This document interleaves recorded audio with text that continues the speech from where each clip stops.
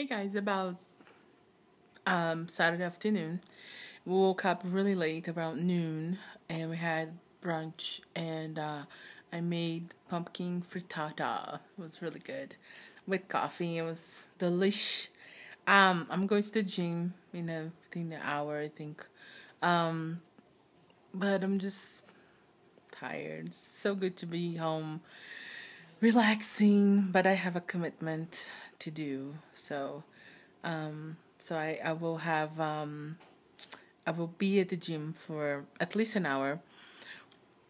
And then my boyfriend and I were thinking about biking because it's kind of nice today, but um, we have a party to go at seven, so I don't know. Time is kind of tight today, but um, I will be at the gym and I will be doing my workout, and um, yeah, Oh, it feels good. So I hope you're all doing good this Saturday, and I'll catch you later.